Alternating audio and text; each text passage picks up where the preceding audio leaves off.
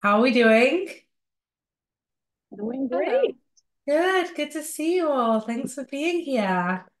So, Yay. yay. I'm just wondering, I think it's everyone on video that is joining as an expert. If you are joining as an expert and aren't on video, put yourself on video. You can also join on video, not as an expert. Um, how's everybody doing? It's been a beautiful morning, beautiful drive. I'm about to leave town for the holidays. So I'm literally sitting at the airport. And then when we're done, I'm going to hop on a flight and get out of town. So it's been beautiful, quiet morning. Great day so far. Thank you for making time for us and making it work on your adventure. Yes. Oh my goodness. That you would not ever like not want to be part of this. So thank you for, you know, the invitation. Thank you. So welcome everybody. So um, just so you know how today is going to run, um, we're going to introduce the Time Hacker expert panel. They're going to share a little bit about themselves, and then we're going to open up the floor for you guys to ask anything. And the advantage here is um, the variety of question, the variety of answers, the variety of thinking, um, the different ways of viewing, the different ways of implementing the tools and just really this is an opportunity to get your questions answered. It's an opportunity to potentially even get some coaching if there's time. Um, and it's an opportunity to just meet uh, some of our expert time hackers. So I would love to kick this off with you guys just introducing yourself. Um, so I can see Başak in my top left. So if you are comfortable let's start with you. Share a little bit about you about um, how you use time hackers, about your journey, and um, anything that you want people to know. Yeah, of course. Uh, I'm also so honored to be here. When I first joined Time Hackers, I was like, I'm gonna hack my time and be as an expert in some months there. You did it. I did it. And next one is the podcast, I hope. uh, so I'm Başak. Uh, when I initially joined Time Hackers, I was still doing my PhD. And for me, that was a big chunk of investment. Even though I actually got a scholarship from you, that was still like one of the biggest amount of money I spent, especially at that time. I was just finishing. I didn't have a new job. So it was a very scary time. But I remember in one of the podcasts, you said something about investment you did for coaching certification, which brought so much value and I realized myself like always saying, "Oh, I don't have enough time. I'm so stressed," and there was just also too many responsibilities. So I was like, "This is the right moment for joining Time Hackers." Now that there's so many things, this is the, the time to work on that. Amazing. And what do you think that you created as a time hacker? I mean, like I would always hear you say, like you on podcasts, like how much everything is tied to time, time. But I haven't, I think, fully grasped it until I started doing it myself. And like I was reflecting on like what are the things achieved so far. Like I think the biggest one for me is just the ease in life. That because things happen, like today was a very chaotic day for me. I missed a deadline. I made a mistake with something else there was a half an hour to write an abstract, which I manage. Uh, but overall, like before, I would make these things mean so many terrible things about me. I think that's becoming less and less. I'm like, oh, I, I fucked up. It's okay. And it's not the time that's going to solve it. And then I'm really focusing on like the learnings. Yeah. And I accept that I think I'm like a, I'm like a work in progress always. And it's like, time is not the answer. If I had more time to do something, whatever. In some cases, a little bit, yeah. But focusing on that was, I think, making me really stuck in life. Yeah. Like I got a new job with Time Hackers. That's like was a big decision for me, and I made a very quick decision that I'm happy about. Defended my PhD. I think my relationship with my partner is so much better because I'm not fixated on what time is going to bring us instead like how can i communicate better how can i do mm-hmm. things better now mm-hmm.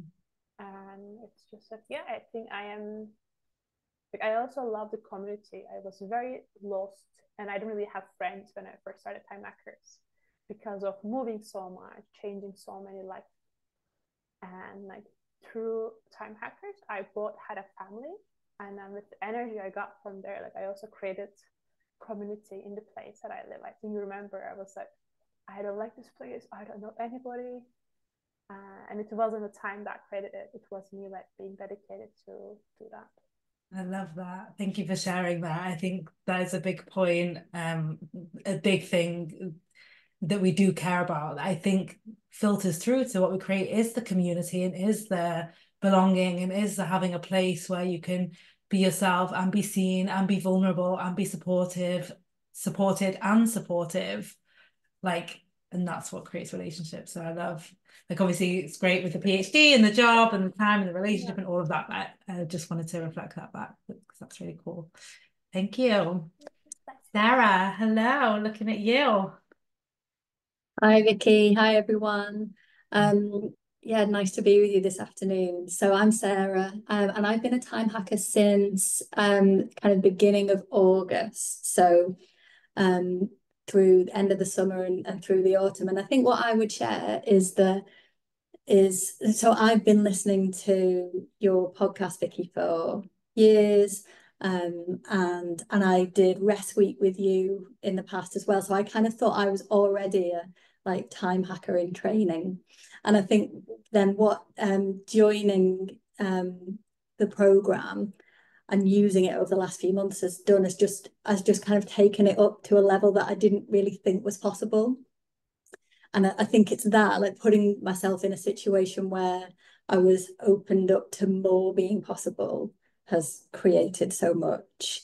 Um, so I joined um, when you were in the middle of the self-care challenge and just the and I thought that I'd really made loads of progress and kind of like prioritizing myself and and so much progress there but actually just being in the community with other people doing that and consistently asking me that myself that question like well what would self-care look like today? And and then again the next day and again the next day just really opened up so much more possibility and I ended up having organizing a, a week completely to myself without my children without my husband which was just something that I just would never have considered or, or thought possible before.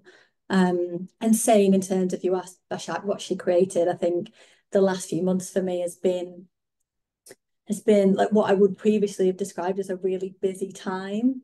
And so it was the right thing to kind of join at a time where I needed to take that time hacker skill up a level.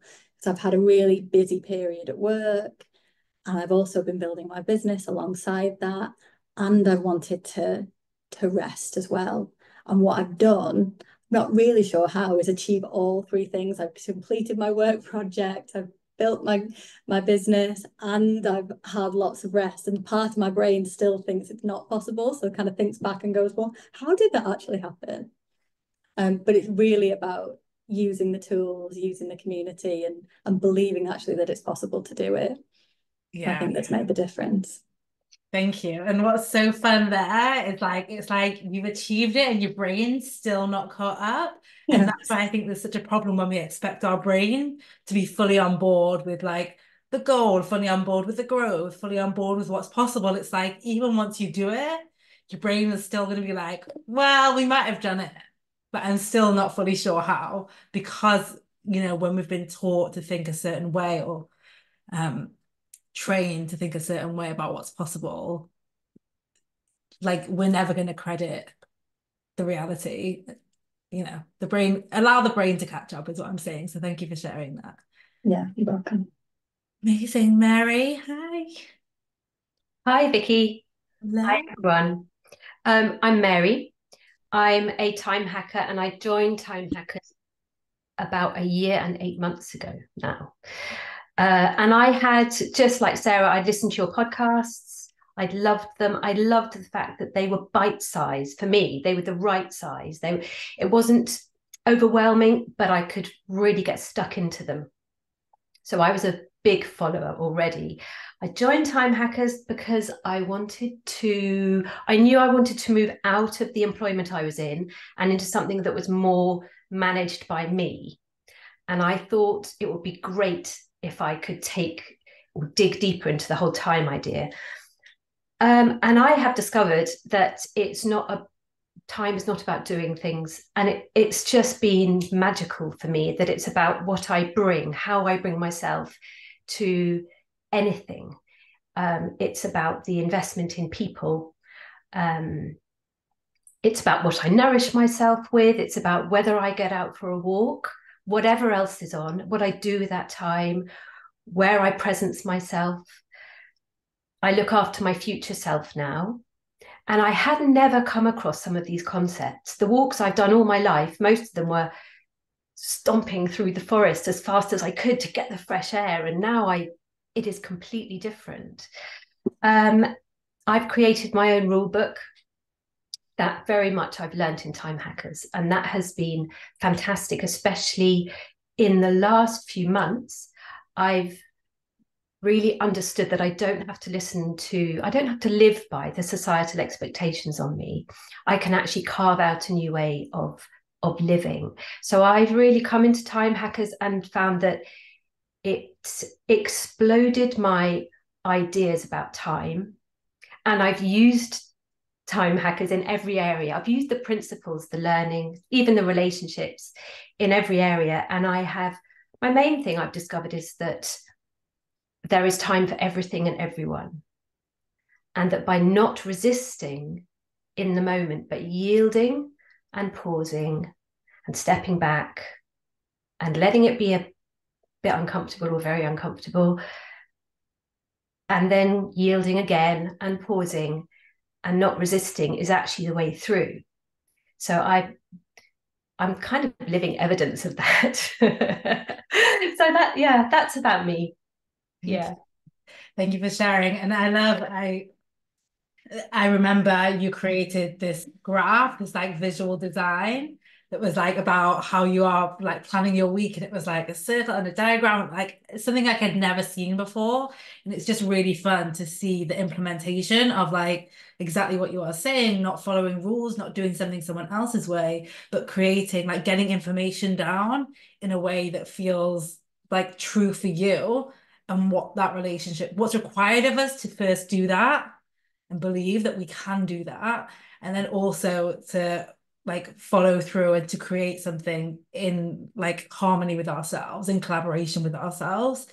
Instead of, I think, what happen, what often happens with time tools and rules is we create them like in spite of ourselves. Mm. So I love that. Thanks, Mary. Zil, hi. Oh, you have to unmute. Hi. And I thought I was the only one who was in love with the podcast before we joined. But I guess that's everybody's story, and I love it. So, just like you ladies, me too, right? Me too. I was listening to the podcast, I was obsessed with the podcast. Like, I remember one evening driving, I had to do like a long drive, and I'm like, what am I going to listen? And I'm like, I'm gonna binge on Vikki's podcast. and I remember pulling over, pulling up the podcast and listening to it the whole drive and then sharing with my friends. And I'm like, you need to listen to her. She's amazing. This work is incredible. So I was in love with your work, with the work of hacking time way before I joined Time Hackers. And then when they find, you know, time finally came for me to join, it was because that decision was because I did not think it was possible for me to create two businesses at the same time. And you guys were LCS. I was coached by Brooke Castillo on a coaching call where I was telling her, hey, uh, I want to build two businesses, but everybody says, you know, build one, then build the other. She's like, no, go build both. And I'm like, but how? She's like, ah, you figure it out. So that was the coaching mainly, right? and I was like, oh my gosh, how? I was thinking about the how, and time hackers came as the answer. I'm like, if if the belief is it it's gonna take a lot of time and it's not possible, then the solution is in hacking time. What if time is not responsible for me building two businesses or not? What if time is not, you know, to blame for my results or for my lack of results. So I have, I just have this new mentality around time around you know building multiple businesses. And it's so interesting because after my i had this mentality shift about time i started meeting a lot of women very successful entrepreneurs who are building several businesses at the same time. I don't know how they're doing but some have three four five. I'm like gosh this is all around. And they have mastered something that I'm mastering inside the program, which is, you know, decision. So interesting because last night I was sitting down, you know, finishing my day. As I told you guys, I'm checking off for the holidays. And I, I, I don't even remember what it was, but I just remember that I was like, oh, I've already decided on what I do when stuff like this comes up. And I remember just telling my assistant, do this and that and that. And it took two minutes and it felt so good. And I was like, oh my gosh, this is like we hack time by making decisions. And so we don't have to be thinking about that over and over and over. And yesterday I caught myself like really happy about, you know, that two minute deal with my assistant that could have taken maybe days, right? So, anyways, the changes have been incredible and they are mindset changes, but then they show up in your actions, right? My actions. Something big as well is the ability to not only rest, but to sit with the discomfort of resting. So about two weeks ago, my mom and here, guys, I like my family hustle, right? I'm from Brazil. My mom was a badass business owner, always hustling, always. She, she still does. My dad and I grew up in that type of culture. And I can work, right? I can hustle. I know how. It's in my blood. But there is shame to rest around my mom. So much shame if she's around to allow myself to tell her, yeah, I'm gonna take a nap. So about three weeks, two or three weeks ago, she was around and we were going to a party. So we were going, going, going all day. And the party was at five. When four o'clock hit, I'm like, I need to rest before this party. There's no way I'm gonna go on. And I was like, this is gonna be so uncomfortable because my mom is here. And and I said, Mom, I've got to take a little nap before the party. And we might be late, but that's okay. We'll be there. So you're going to have to excuse myself for a little bit. And that felt uncomfortable and that felt shameful. So I had to deal with those feelings because I'm breaking generational trauma patterns, cycles of hustle. And I remember going to my room and laying down, and like my brain wants to think about my mom. And my mom doesn't, care. I don't think she really cares. I think she was happy that I was resting, but it's me, right? I was like, okay, I'm rested. Maybe it was a 20 minute nap and I got up, I was fresh. And I said, all right, let's go, right? So the shifts have been incredible and so many of them. So I think to close this up, I really want to thank you, Vikki, for putting this work out there, for thinking outside the box, right? For letting us, for leading us into this movement of thinking different about time and about rest and achieving more because of it. Mm. So thank you. Thank you. I think, yeah, the discomfort of rest is such an interesting one because it's almost like if we're seeking comfort, that's why we're seeking rest and allowing the discomfort because the discomfort is temporary and the reward on the other side. So I love you sharing that uh, and your willingness to like see the discomfort as part of the process of rest i think is so powerful for everyone to hear. Thank you. Yeah thank you. Yes. Madeline hello. Oh. Hi. Hi.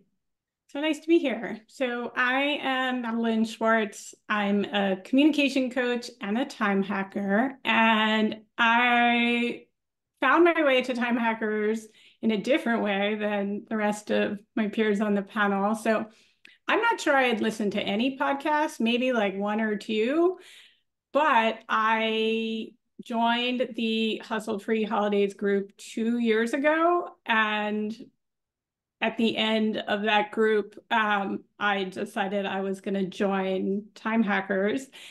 And it's been, you know, when I when I saw the pop up for Hustle Free Holidays, I thought, oh, this is exactly what I need. Like time was my biggest stressor, not just around the holidays, that was all year round.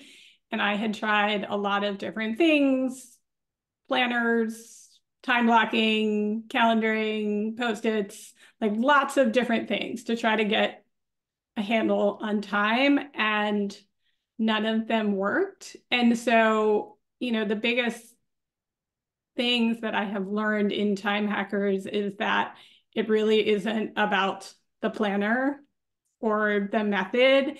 And I was so relieved to like throw out the system that I was using when I joined and to have permission to do less to you know not try to achieve this vision of like the time blocking ninja that was super efficient with my time and as a result i have developed so much more self trust and an ability to make decisions. Like making decisions was also a huge struggle when I joined, and I had this story of being a terrible decision maker and it taking a long time. And that is one of the top things that I have learned from time hackers that decisions don't need to take a lot of time and that they don't get more comfortable with time.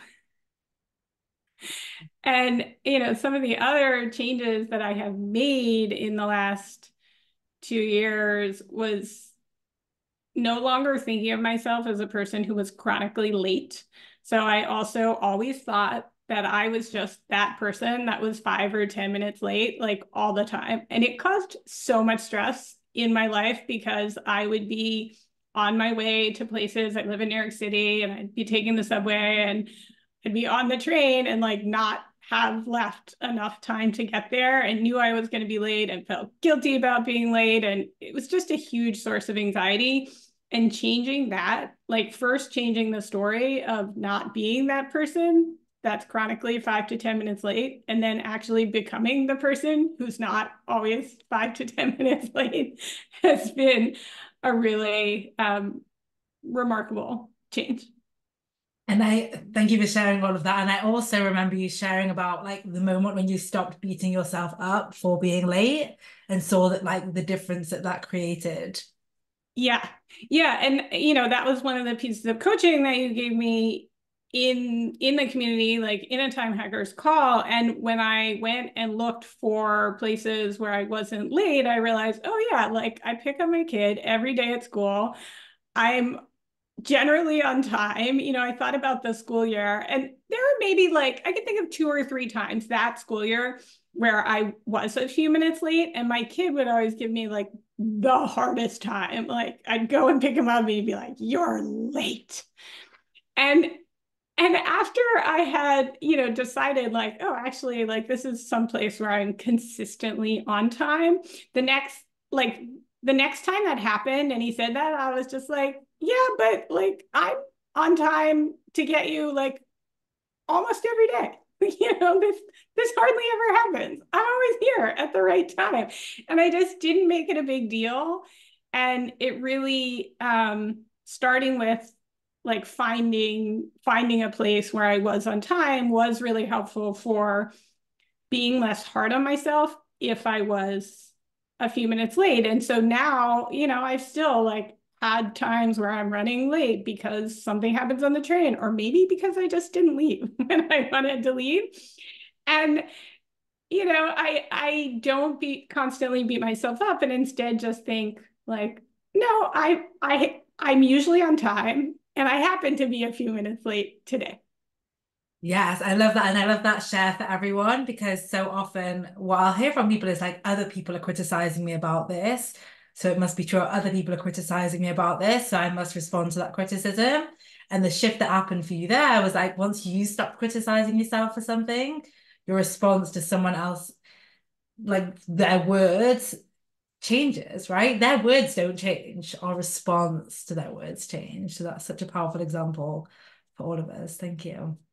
So for everyone that's on the call, this is your opportunity to ask anything. You can literally post in the meeting chat. You can do it just to me. You can do it to everyone. You can also raise your hand and come and like come on video and get coaching. Um, you do that by hovering over the bottom and then clicking the like play time for raise hand. Or if you can't figure out how to do that, just take your video off and unmute yourself. But um, this is your time and or also I've got lots of questions for our panel as well.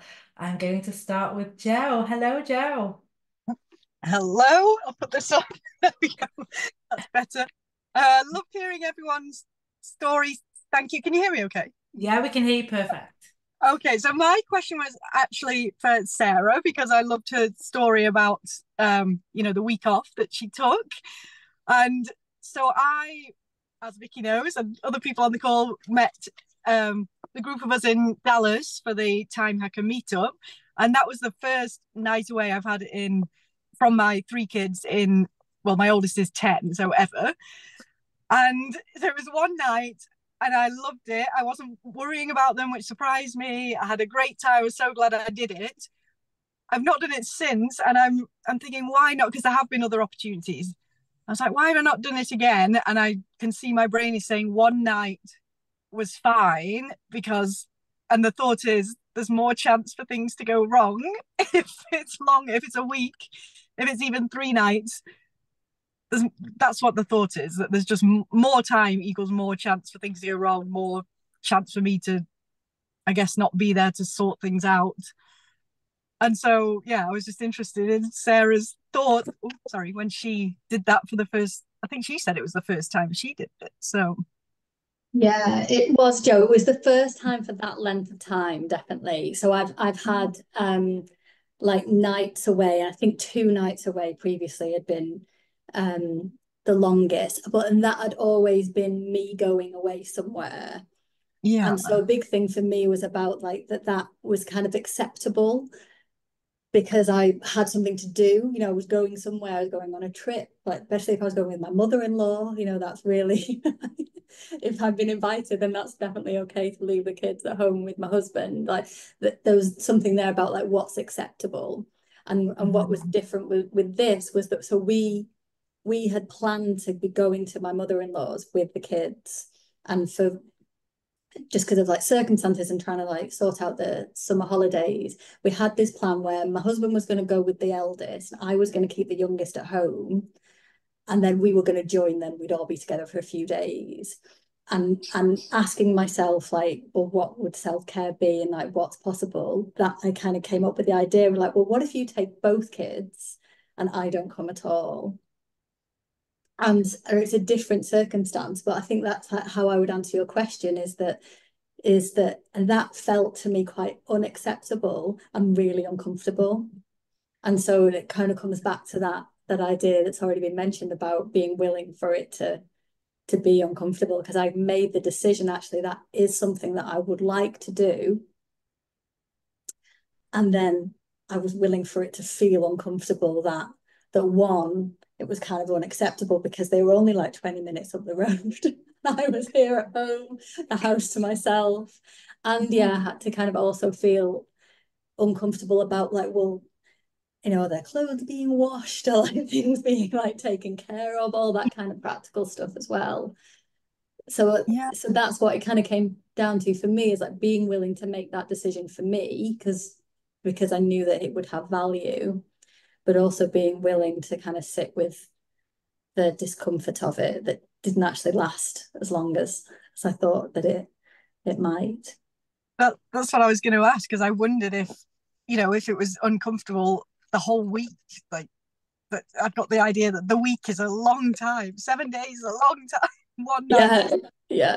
It so... did was a really long time. No, it didn't. And I think like that initially did feel really uncomfortable and i think i posted in the group about that and getting that support was was really helpful and just kind of being willing to feel that that discomfort I think helped me to to kind of move through it a bit. But then it you know it would kind of come back in in like waves something would happen and and and yeah just being willing to be okay yeah of course yeah. that's coming up but I'm doing this for for good reason yeah. and they're totally fine and they're having such a good time and and this is the ideal time that they don't need me because they're with their dad and their wider family and so why not yeah I, I actually never my brain didn't go there to what they would gain from it actually it was all like oh i get the the freedom and the chance to do this and this and this but actually that's such a good point that what do they gain from it mm. wow. yeah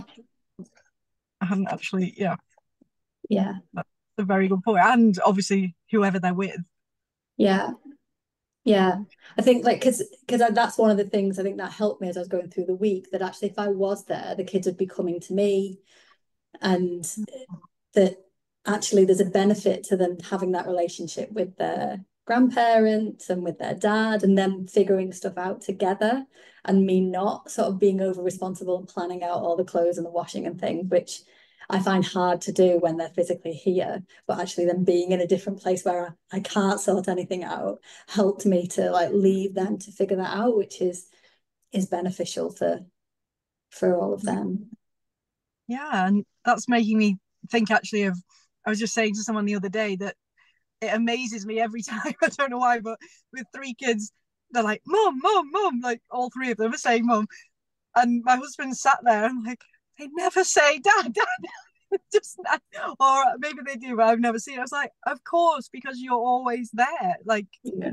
that. What would that create as well? Mm. That's okay. That's really interesting. I was seeing it. I was. I was just very much seeing it from my, you know, my point of view, my brain, my struggles, da, da, and I, yeah, I hadn't actually considered all the benefits of that side. It's a it's a mm. win-win. Yeah, absolutely. I think that's so powerful for everyone to see. Like our brain by design is going to focus on A ourselves and B on on all the things that could go wrong and all the negatives.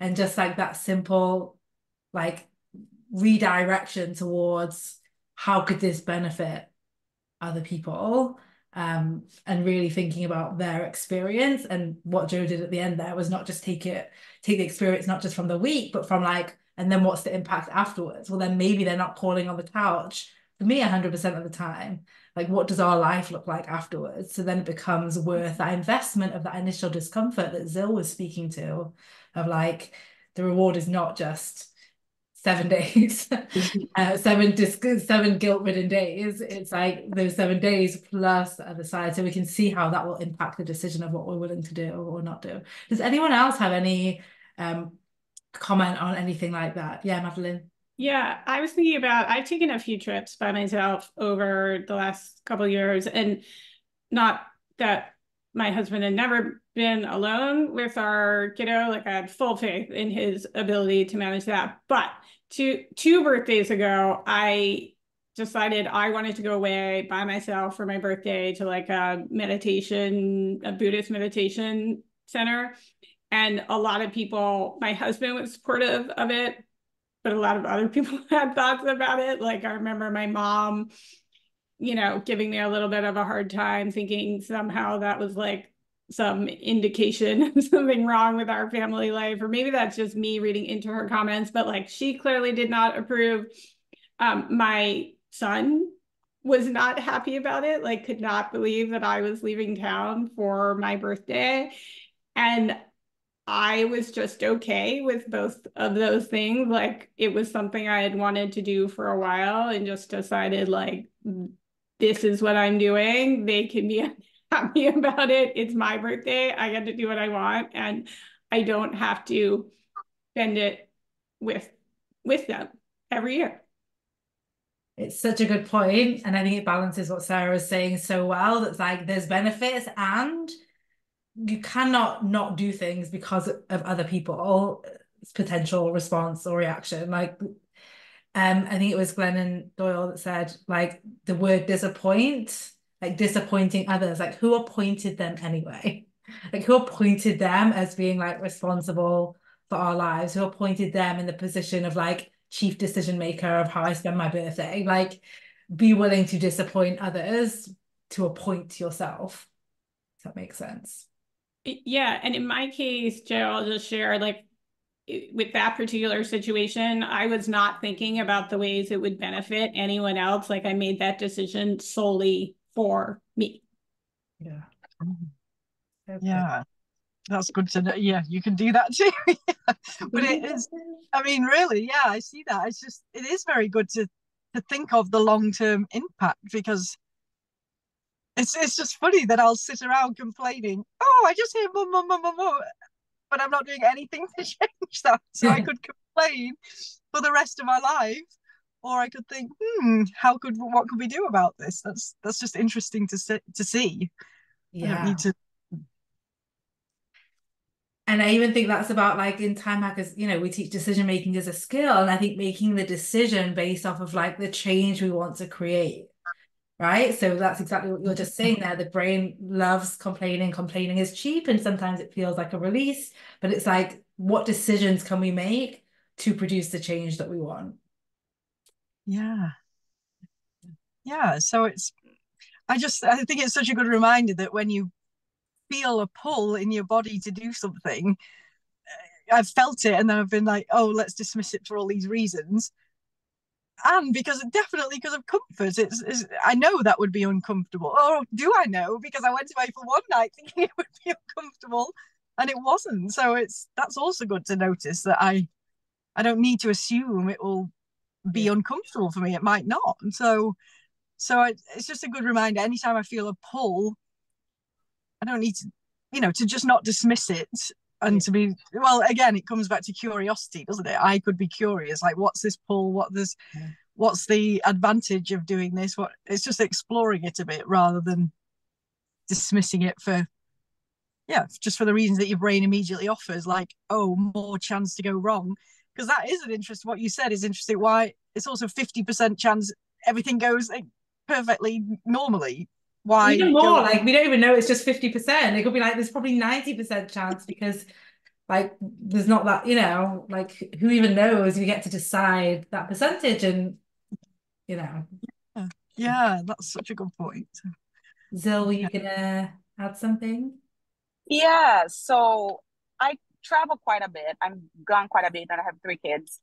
So what helped me coach myself around this was a decision uh, so my journey was that whenever I left in the past, I had to leave everything ready for my husband to take care of the kids for groceries uh, done, and you know everything had to be in place for me to leave. That's because I did not believe or decided that my husband was 100% capable of doing the work himself. So I started looking at him as somebody 100% capable of taking care of the kids in his own way, right? Whether they're having cereal for dinner or, you know, a full meal, it doesn't matter. They get fed. So I think we need to detach from, you know, our ways and really trust our partners and believe that they're 100% capable of taking care of the kids and really letting go of our, you know, patterns and our you know boxes that they have to fit because every time I came back home, the kids were fine and they're happy to see me. The other side of the coin is also we need to remember that raising kids also includes teaching them how to be um, independent mm. and how to be resilient and how to deal with their emotions as well. So I also see this as, you know, a chance for the kids to grow. And I also believe that my kids are 100% capable of having a good time with dad, checking in with mom on the phone, and knowing that mom is back in a few days or maybe in a week. So this mindset is what has helped me to allow myself to go whatever I want. I'm sorry, but Zil, what you were just saying is such um, powerful leadership training as well for anyone that leads teams. And one of the big things that um, that you know we're working with businesses now and we're speaking to is this idea of like maybe you or even that we're dealing with as a company, like not everything needs to be done at 100% level. And not everything needs to be done the way it's already been done. What are the results that it's producing? And that dinner example is so good of like they are being fed. And some days that's like a home cooked dinner and some days that's cereal. And you know what? Probably the balance is like what works for them. Um so I just love that beautiful example because it applies to family life and it applies when you are part of any team, I think, which is allowing other people the space to step up and maybe it doesn't look the same, but is the outcome still like what you wanted? And isn't that great? Because then now Zil gets to travel, and then now we get to that's part of creating space and creating time that a lot of teams struggle with is letting other people do things differently. But like, why? Thank you, Zil. Başak. Mm. Yeah, so I don't know the case of having kids. So I don't have kids myself but the thought I wanted to offer is from a coaching I got from Vikki some months ago. Because my brain also likes going into the like the all possible terrible scenarios that can happen. But what if like thinking about the perfect scenario, like what can go right? And like focusing more and more like what kind of value that might bring. And like what would the ideal scenario for you be like if you go for one week away? What do mm. you want to do? And imagining that i think for me it has been a big shift in anything i do because then i'm not in the oh my god it's gonna suck scenario but like how do i bring the optimal thing basically? Yes i mm. love it. It's like really spending time in the juicy dream of possibility yeah. away from the brain's tendency to be all in the details of the potential danger. Thank you Başak so good and it's so applicable I hope what everyone's taking from this discussion is like, where else can I apply these lessons? Where else can I apply these lessons? Because the beautiful thing about coaching and about learning about what we do in time hackers is like one lesson from one area impacts so many things. Um, so thank you for that. Mary? Yeah, I just wanted to add that it, very much in the same um, strain, um, but how this is setting a whole role model for our own kids, the people around us, the colleagues, friends we have who haven't had the opportunity of changing the rule book for them. And so I think, Vikki, like you're saying, it, it's like a, a pebble in the water. You know, the ripples go out quite far. Uh, I was speaking to with one of my daughters today, and she told me that she's booked. So I'm a believer in taking time out focusing. Um, she has booked age 24 an Airbnb for three nights to go and spend time with herself. And this has this is a ripple that has come out of a change in um, values and how I look after myself, which is, I think, amazing that we can see it go on and on in the lives of others. And it is initially discomfort, uh, uncomfortable. I think, as Zil was saying, that discomfort, it, it doesn't go away, but we grow much more accustomed to it. it becomes quite familiar. But so to see it rolling over into other lives is quite significant too. Yes. It's um it's very powerful. And I think sometimes, you know, by design, by conditioning, by evolution, our brain will be so critical of ourselves and so like tight on ourselves and, and like what's the least that I could give myself instead of what's the most. And I remember when I was on um maternity leave and then put on bed rest and I remember like making decisions around the business and what we are going to be closing and I remember the question that I asked myself which follows on from what Mary was saying was what's what's the example that I want to be for the world, not for myself. For myself, I'm thinking, oh, I could push through. I could do this. I could do, I could is reason enough. And when I started to think about like, what's the example I want to be, I was like, ah, we're shutting everything down. ah, like the podcast isn't being done. Like, yes, I could speak for 10 minutes and, and the example that I want to be for the world is that. And I think it's just a powerful way to actually bring our intention of what we want to create away from our conditioning so I love that, Mary, and it must be very fun to see it in real time. Thanks so much, Jo. I feel like that gave us very juicy topic of conversation.